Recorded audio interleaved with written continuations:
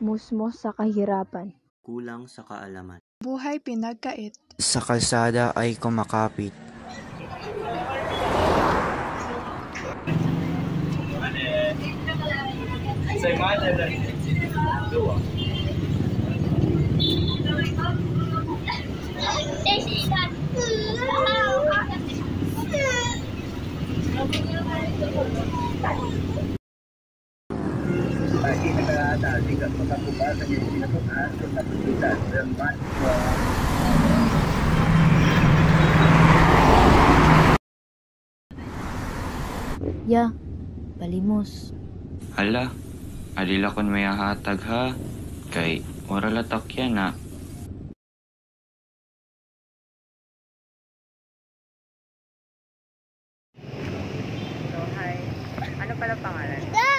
Algina. Algina. Taga saan ka? Taga Mindoro. Ah, taga Mindanao. Pero ngayon dito, taga, ngayon kayo natutulog Pantala. sa pantal. Ah, kasama mo, parents mo? Tingnan. Hindi. Asan man yung parents mo? Asan yung parents mo? Kulang. Mo pala.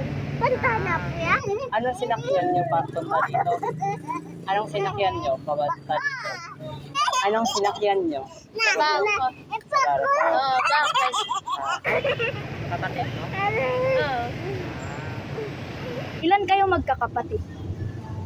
Oo. Tatlo. Sa Mindanao, may bahay kayo doon?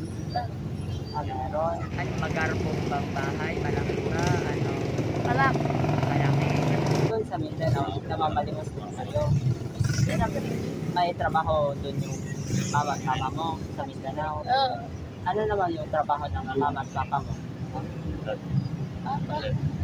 Um, wa- may papa ka? Oo. Ah, Kay daddy. ah, anong trabaho nila doon? Si daddy. Pangla, panglaba. Ah, malaba. Yung mama mo? Ano yung trabaho ng mama mo doon sa Mindanao? Wala.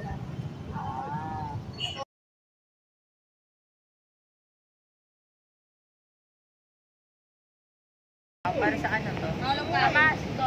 Pabasko rin. Oo.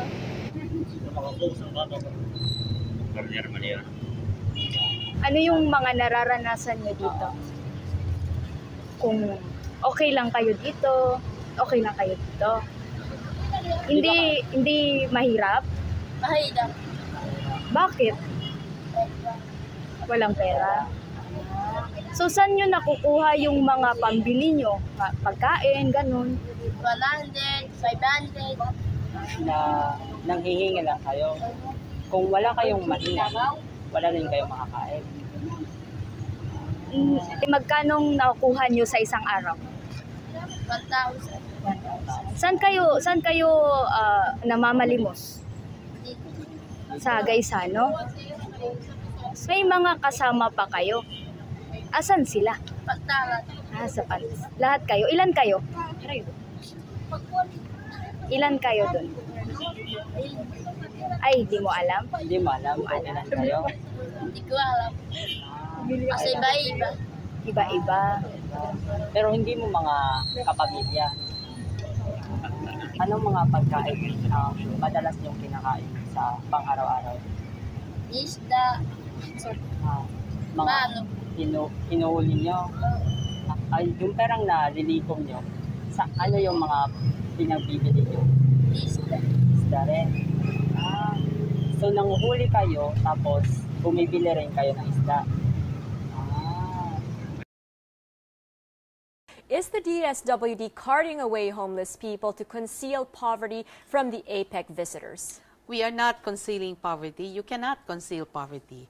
Uh, the DSWD national and DSWD local city social welfare and development offices have been working on reaching out homeless street families because streets are not safe, it's not dignified, and we've been working on this since 2013. Okay. Uh, from 2013 to this day, we have registered 4,450 homeless street families.